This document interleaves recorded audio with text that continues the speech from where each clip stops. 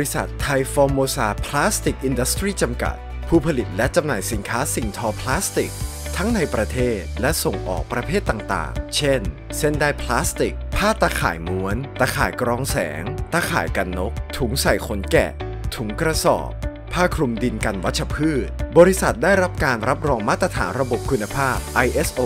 9001 ISO 14001 และ ISO 45001 บริษัทไทยฟอร์โมซาพลาสติกอินดัสทรีจำกัด เป็นผู้ผลิตกระสอบใส่ขนแกะแห่งเดียวในประเทศไทย ผลการดำเนินการที่ผ่านมา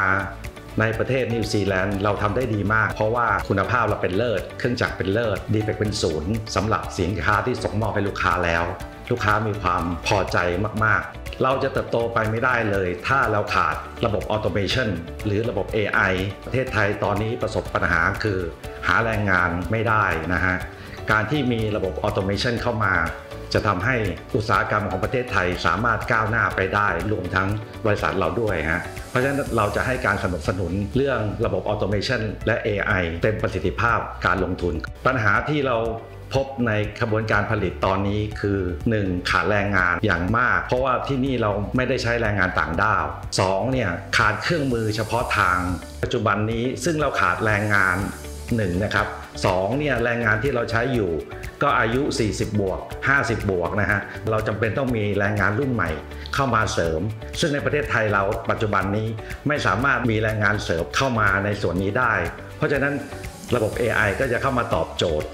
ในรายการผลิตของบริษัทก็จะมีการเอาเส้นพลาสติกมาทอ ในการทอเนี่ยมันมีโอกาสที่จะผิดพลาด เราก็เลยอ่านำเสนอที่จะพัฒนากล้องอัตโนมัตินะครับเป็นระบบ AI นะครับมาดูว่า ในการทอเนี่ยมีความผิดพลาดหรือเปล่านะครับ ถ้ามีการผิดพลาดเนี่ย ก็จะสั่งให้ให้เครื่องทอเนี่ยหยุดก็สามารถที่จะลดต้นทุนในการผลิตได้ ในส่วนอื่นที่เราเข้าไปเสนอแนวคิดเนี่ยนะครับ ก็จะมีในส่วนของการตัดผืนผ้าพลาสติกนะครับมามาตัดเพื่อจะมาทำการเย็บถุงนะครับ เราก็นำเสนอแนวคิดคือระบบตัดอัตโนมัตินะครับ ก็จะมีอ่าระบบที่มี motor control นะครับในการดึงผ้าขึ้นมานะซึ่งตรงส่วนเนี้ยก็สามารถที่จะลดจำนวนคนใน process ในการตัดได้นะปัจจุบันเนี่ยใช้อยู่ประมาณ 5 คนเป้าหมายของเราคือเหลือแค่ 2 คนนะครับนอกจากนั้นก็จะมีระบบจัดเรียงผ้านะครับเวลาผ้าที่เขา coating มาแล้วนะครับเขาก็จะโรยผ้าลงมาตรงพื้น ตอนนี้ปัจจุบันเนี่ยใช้จำนวนคนในหนึ่งคนนะครับในการที่จะเอามาคอยจัดเรียงผ้าที่มันโรยลงมานะครับเราก็จะทำเป็นเครื่องนะครับที่สามารถที่จะมาจัดเก็บตรงนี้ได้ เราต้องการที่จะลดคนหนึ่งคนที่ทำงานอยู่ตรงนั้นออกไปนะครับ คือ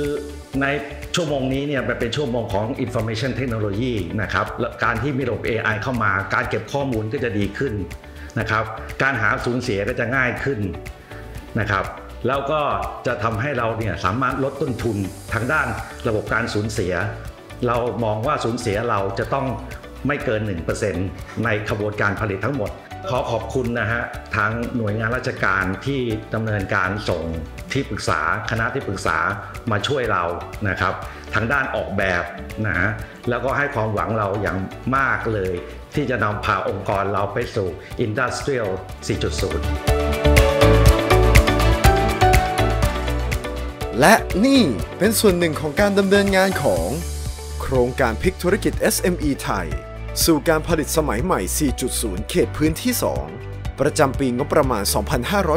2565 ที่สำนักงานปลัดกระทรวงอุตสาหกรรม และกองทุนพัฒนา SME ตามแนวประชารัฐ ได้วางเป้าหมายไว้เพื่อสนับสนุนให้เกิดการลงทุนเทคโนโลยีอุตสาหกรรม 4.0